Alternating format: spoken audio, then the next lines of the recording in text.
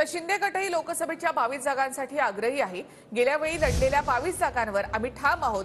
शिंदे गटाच्या शंभूराज देसाई आणि संजय शिरसाट यांनी ही माहिती दिली. महायुतीची समन्वय समिती अंतिम निर्णय घेणार असं शंभूराज देसाईंनी म्हटलंय. तर तडजोडीचे अधिकार हे मुख्यमंत्री शिंदे नाहीत असं शिरसाट यांनी म्हटलं आहे. त्यावेळी आम्ही बावीस जागा लढलो अठरा जागा जिंकलो आम्ही आजही त्या बावीस जागांवरती ठाम आहोत.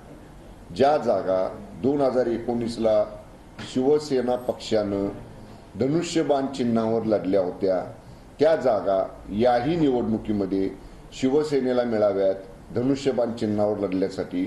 याच्यासाठी आम्ही आग्रही आहोत.